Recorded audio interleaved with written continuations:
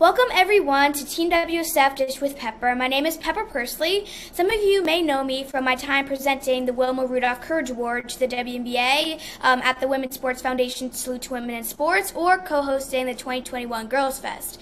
I'm excited to be working with the Women's Sports Foundation to share the stories of some amazing female athletes competing in the Tokyo Paralympics. Joining me today is 2016 Paralympic silver medalist Sophia Herzog. Hi Sophia. Hi, how are you? I'm good. How are you? Doing good. Thanks for having me. All right, no problem. I'm super excited to be talking with you. So let's dive right in. What does it mean to you to be a two time Paralympian and a silver medalist? It's super exciting um, to be able to come back and qualify for the team a second time. Um, there's a little bit of pressure now to be hopefully a two time medalist this time. So um, I'm super excited to be able to go to the games again for my second time. Yeah, um, and I'm for I for one are super excited to hopefully watch you um, at, at some point. So I heard you were 12 when you were start um, when you started swimming competitively. Is that right? And what led you to swimming? Yep, I was 12 when I joined my first team, and I was a skier growing up because um, I was born and raised in Colorado. And then I switched over to swimming because I was having some orthopedic issues with my knees, and swimming's a little easier on our joints, um, and that's where it started. All right, that's super cool. So, what was the first thought through your head when you earned your silver medal in 2016? Uh, it was absolutely incredible. I I knew that morning I had a really good chance for it. So to be able to see it officially on the board um, with my name and the American flag and second next to it was just um, overwhelming. Yeah, it's not an experience a lot of people get to have. All right, so what does a typical day of training look like for you as you prepare for the Paralympics? Um, so I swim nine times a week, and then I'm in the gym three times a week. Um, so my day can range from about four to six hours of training, and then I usually take about an hour to a two-hour nap every day, um, and I read quite a bit as well on my downtime. All right. So we've got that in common, reading a lot. Um, so you know, what's it like? Uh, what's it been like for you to train during the pandemic? Uh, it's been super hard, especially at the beginning of the pandemic when everything shut down. Um, swimmers are super dependent on pools, obviously, um, and there's a lot of people that run a pool to keep it open. So a lot of rec centers and pools uh, shut down for a good chunk of last year. So a lot of us were out of the water uh, figuring out how to cross train.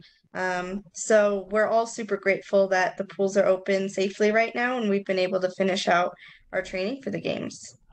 Yeah, that's really cool how you've overcome that and all those changes and still competing at an incredibly high level. That's really impressive. All right, so who were some of your role models or inspirations when you were growing up? Oh goodness. Um I think watching Phelps go eight for eight in Beijing, I was pretty young, so seeing that happen um, was absolutely incredible. Um, let me think. My parents were a huge inspiration to me because they pushed me really hard getting into sports. Um, my teammates throughout the years um, have always constantly pushed me and inspired me. Um, it's been fun to be on the national team for 10 years now and watching it how I was one of the rookies and a really young one, and now shaping into one of the older veterans and seeing the younger athletes come through. So it's been super incredible. All right, so you compete in a lot of different races at different lengths and different strokes. So, how do you um, approach your races? Do you approach them differently, and if so, how? Yep, so I'll be swimming the 200 IM, 100 breast, and the 50 fly in Tokyo. And those are completely different events, different training.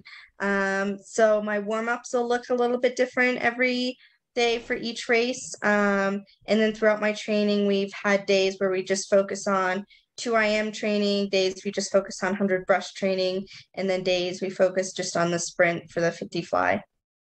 All right, that's super cool. You actually answered one of my questions. I was going to ask you um, which um, strokes you were competing in, but you totally answered that, so thank you for that. Um, so, how do you lead in your role um, as one of the team veterans? Um, it's it's going to be really interesting this year, especially because um, of COVID. So there's a lot of unknowns for even us veterans. Um, but I've been sharing some packing lists um, for the rookies to see because um, we're going to be gone for three weeks. So it's a lot of packing, but also not a lot of packing because we get two suitcase full um, of clothes there. So really, we're not packing any clothes. So just telling them about that and just preparing them. Um, it's really hard to prepare for Paralympics and an Olympic Games. Um, there's nothing that's quite like what we're about to walk into. It's really special. Yeah, there's nothing, nothing in general has ever been like this pandemic, um, and sports in the pandemic has been really interesting. All right, so I gotta ask this. This is something I actually struggle with as an athlete. How do you balance working hard at something but also wanting it to be fun? Um, I think what's really helped me is finding things outside of swimming. Um, so when I'm not swimming, that I can focus on that and not become a nutcase about swimming and worrying if I had a bad practice and picking apart my swims and picking apart myself. Um, I can go after practicing and go enjoy my dog, reading, being outside, and then I can come back a little bit fresher uh, and a little bit with more of a positive attitude towards swimming. All right, I love that. That's really great advice. Thank you. Okay, so how do you use your platform as an accomplished silver medalist, um, medalist to, to inspire the next generation of athletes?